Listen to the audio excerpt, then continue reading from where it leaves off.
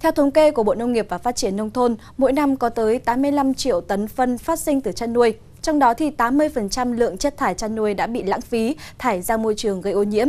Trước thực trạng này, nhiều nông dân đã nghĩ ra cách biến nguồn phân dư thừa này thành nguồn lợi kinh tế. Cụ thể ra sao? Mời quý vị cùng theo dõi. Mỗi ngày, đàn lợn của bà Liên thải ra lượng phân khoảng 200 kg. Phân lợn sẽ được rửa trôi xuống hầm chứa bioga. Phần nước được xử lý làm nhiên liệu thắp sáng. Phần bã sẽ được phối trộn cùng phân bò theo tỷ lệ 50-50 để cho run quế ăn trực tiếp.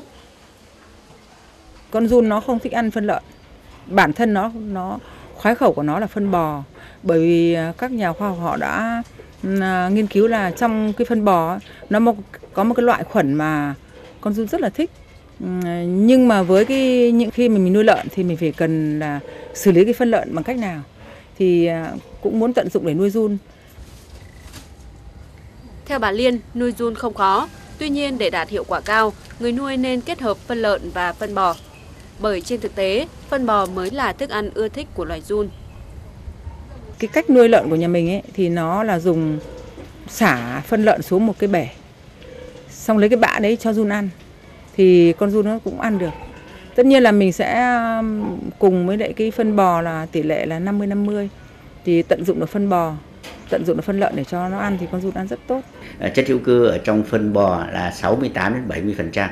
Và uh, do có cái chất hữu cơ cao như vậy thì uh, nó có cái độ tơi xốp và rất dễ uh, phân hủy và chính vì vậy à, đây là cái thức ăn à, khoái khẩu cho ờ, run à, ăn và cũng thích nghi với cái quá trình tiêu hóa của run.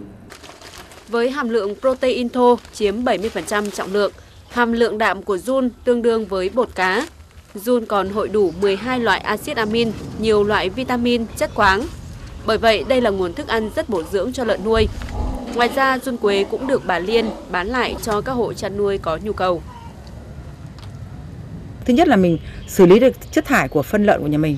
Thứ hai nữa là là là là tiết kiệm được một phần chi phí để đưa cái giá thành con run nó hạ xuống thì giá thành con run hạ xuống thì đầu vào của con lợn nó cũng sẽ hạ xuống. Phân của vật nuôi có nhiều chất chứa nitơ, phosphor, kẽm, đồng, trì, arsen, niken. Không những gây ô nhiễm không khí mà còn làm ô nhiễm nguồn nước, ô nhiễm đất và làm rối loạn độ phì của đất. Do vậy, việc tận dụng phân vật nuôi vào các hoạt động khác trong nông nghiệp sẽ hạn chế được những tác hại nêu trên.